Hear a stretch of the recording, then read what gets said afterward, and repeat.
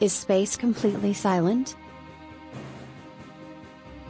So, space is a vacuum, but what does that really mean? Some may have even delved further and learned that space is silent because sound cannot travel through a vacuum. Despite being filled with stars, planets, asteroids and so on, space is referred to as a vacuum. A vacuum technically means a space entirely devoid of matter. So how is space a vacuum, if there are so many cosmic bodies filling the night sky? Well, it turns out that space isn't actually a true vacuum. It's referred to as such for convenience, as space is such a large place that the vast majority of it actually is a vacuum.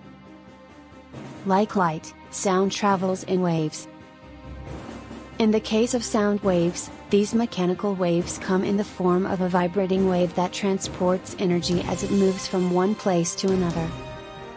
This wave has to travel through what we call a medium, which in this case is through particles.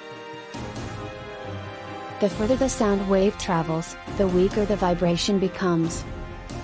This happens until the sound wave ceases to exist, due to a small amount of energy being lost in each transfer between particles.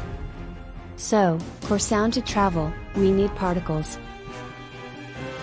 These particles can make up a whole range of things including water, gas, liquids, or even solids.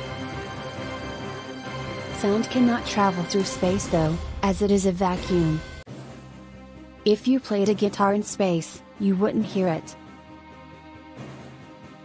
There are no particles, in the enormous gaps of nothingness, between cosmic bodies in space to vibrate, and thus the initial vibrations of the guitar string wouldn't have anything to transfer to, and no one would ever hear it.